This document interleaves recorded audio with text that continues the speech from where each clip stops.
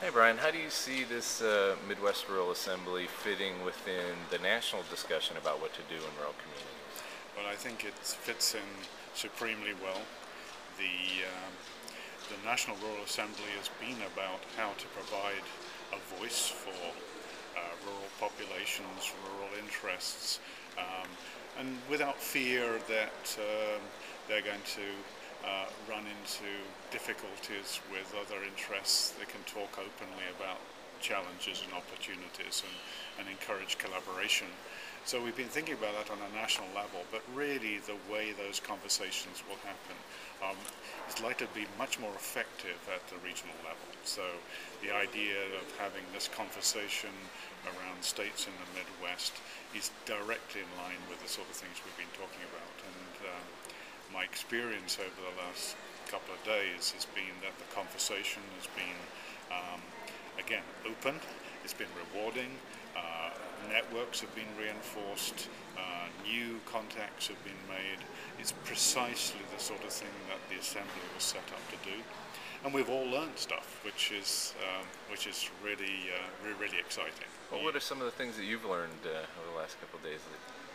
Um, well, it, it, shouldn't be a surprise because I've been working in this area for a long time, but uh, the number of organizations, the number of individuals with their own perspectives, their own sort of way of looking at things, are all committed to, to, to rural in, in some way or another.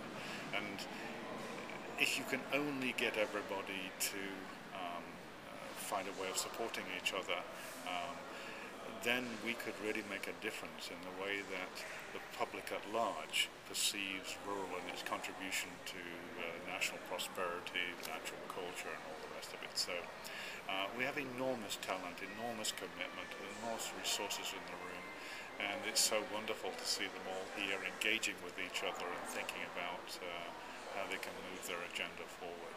So for me, this is this has been a, a remarkably good uh, good experience where do we where do we go from here? What are the, the next steps? Well, my sense is that uh, we're in a in a rare we're in a rare moment in time. If that doesn't sound too pompous.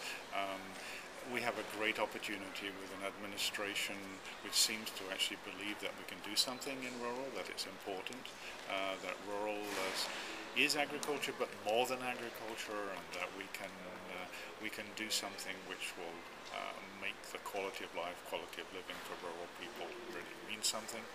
So there are the resources, the, the uh, administration, and, and, to some degree Congress's commitment to doing something around rural. We've got more money coming into the system than we've had for a long, long time.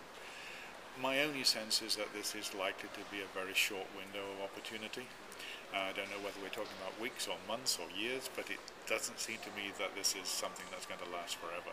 So um, I think it's really incumbent upon us, and using the Assembly as an example of this, we have to figure out how we can take a best advantage of this moment, um, not get ourselves embroiled in fighting over over the crumbs, um, taking this opportunity to settle old scores or, or just get ourselves diverted from the main mission. If we could figure out a way of how we can come together um, and really push the rural agenda in all its different facets, then we'll be able, we'll do well. If we allow ourselves to tear each other apart, which we've done so many times in the past, then this moment may never come back for us, and we'll be just assigned to um, well, our, our urban cousins telling us what uh, is the future for rural rather than us determining our own destiny. Great. Thanks very much. Is that?